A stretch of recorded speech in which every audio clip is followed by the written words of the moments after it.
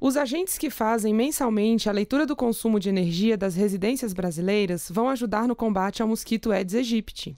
Conhecidos como leituristas, esses funcionários serão capacitados e poderão repassar informações de residências suspeitas de conter criadouros do mosquito. Além do auxílio à inspeção domiciliar, as companhias de energia também vão enviar mensagens de conscientização para a população.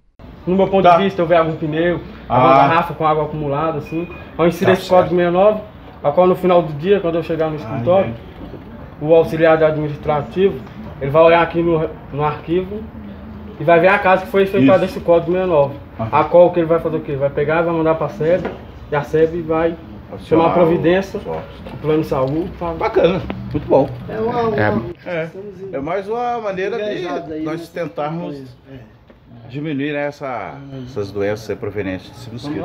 Acho que o pessoal que anda na rua, que trabalha na rua, conhece tudo, vê tudo, sabe onde estão os focos. Mais que a gente que fica dentro de casa.